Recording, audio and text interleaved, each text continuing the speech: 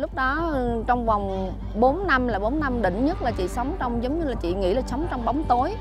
Chị sống trong cái bờ vực giống như là sống, chỉ có thể là chờ tới ngày con nó lớn là chị sẽ tự kết thúc mình. Thật sự là như vậy.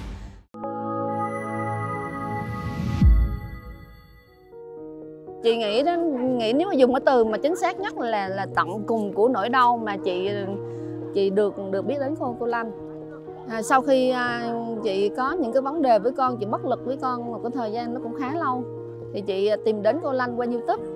Thì tìm đến thì chị chỉ bấm là là giải giải tỏa cơn tức giận cơn tức giận thôi. Mà chị vào thì nhìn thấy là giải phóng. Chị nói ủa cái gì là giải phóng cơn tức giận ở đây?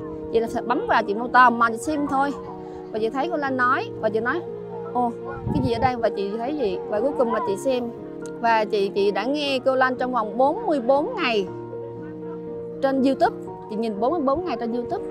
Và sau đó thì ờ, chị quyết định là vào học cái khóa, là cái khóa chữa lành của cô Lan cái khóa đó chỉ có 500 nghìn thôi. 500 nghìn nhưng mà thật sự lúc đó nó là cả một cái vấn đề to lớn với chị. Và chị ờ, chị quyết tâm là chị chị vào chị chỉ nghĩ là chị vào chị học cái khóa chữa lành 500 nghìn thôi. Nhưng mà sau đó chị học được ờ, 3 ngày thì chị đã thấy được cái ánh sáng cuộc đời của chị lúc đó trong vòng 4 năm là 4 năm đỉnh nhất là chị sống trong giống như là chị nghĩ là sống trong bóng tối.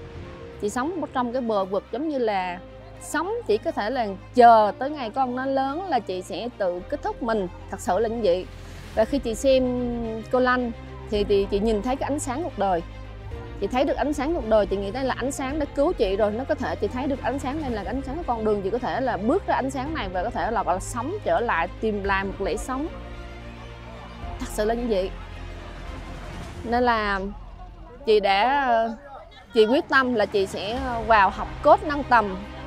Học cốt nâng tầm, tại vì lúc đó chị thấy không phải là chỉ sống, là chỉ là cái giải tìm giải pháp ra để để giúp con, để dạy con, dẫn dắt con nữa. Mà chị thấy ở đây là cứu luôn cái cuộc đời của chị, cứu luôn cuộc đời của con và có thể giúp đỡ những người xung quanh hoặc là có thể làm nhiều hơn được nữa. Thật sự là như vậy và chị quyết tâm chị vào chị học. Chị học thì à, chị chỉ học cô khoảng chừng à, 3 ngày thôi là chị đã quyết tâm, chị thấy, chị chị thấy rất là rõ. Thật sự chị là con người rất rất rất rất khó bị tác động. Chị là một người rất là nguyên tắc và kỷ luật rất khó tác động. Nhưng mà cái trí tuệ của Lanh để để chị thấy được ánh sáng đó và chị chị bắt buộc chị phải kêu là chị chị phải học để thoát ra khỏi. Và chị đã chị đã quyết tâm theo cô để cứu mình vì cái sức khỏe của chị rất là nhiều cái vấn đề.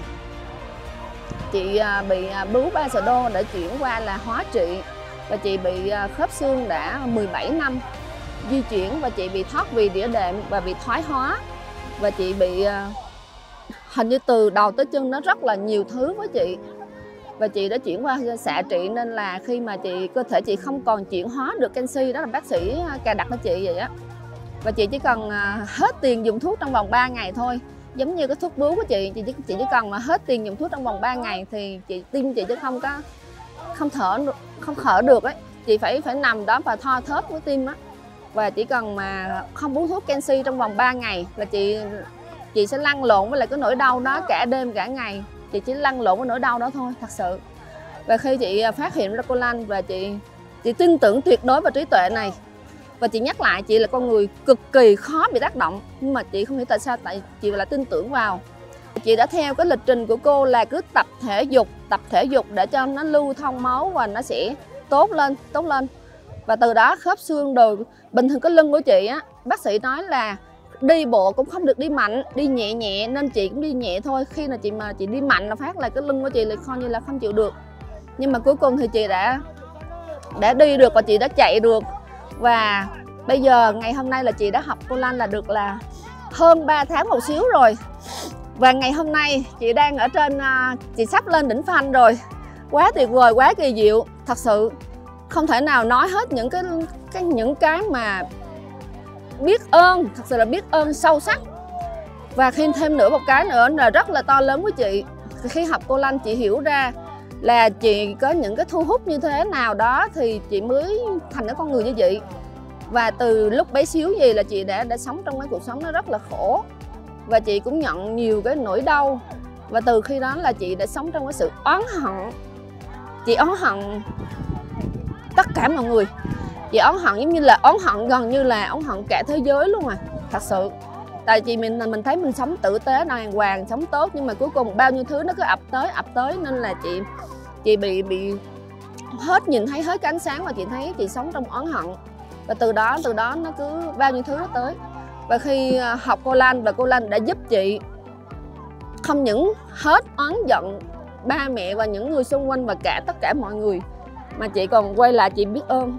Thật sự sống trong cái sự tận hưởng, sự biết ơn biết ơn tất cả mọi người biết ơn ba mẹ biết yêu thương ba mẹ. Và từ từ sau trong lòng trong lòng chị nó lại tỏ ra biết ơn mọi người. Và chị cứ háo hức háo hức. Chị muốn học nâng tầm và muốn học cốt nâng tầm để chị muốn làm cái gì đó cho thêm những người người nào nữa đó. Trao lại đem lại một cái cái, cái, cái, cái cuộc sống trước tiên là tốt cho mình nha. Tốt cho gia đình mình. Thứ hai là chị muốn sống cái cuộc đời mà nó đáng nó đáng sống đó, có nghĩa là làm giúp được cho người khác. Đó là cuộc đời đáng sống. Chị rất biết ơn cô, rất biết ơn thầy Hoàng, biết ơn thầy Lương, cô Thoa và tất cả những cái bạn mà hỗ trợ trong Minh Tiến Thành một đội ngũ. Chị phải nói là quá tuyệt vời, nhất là bạn Đào Lan, bạn đã dẫn dắt chị một cách rất là tuyệt vời. Vì con người chị là một con người khó bị tác động. Nhà bạn đã dẫn dắt chị, gọi là quá tuyệt vời. Chị rất là biết ơn bạn một lần nữa chị rất là biết ơn biết ơn và biết ơn.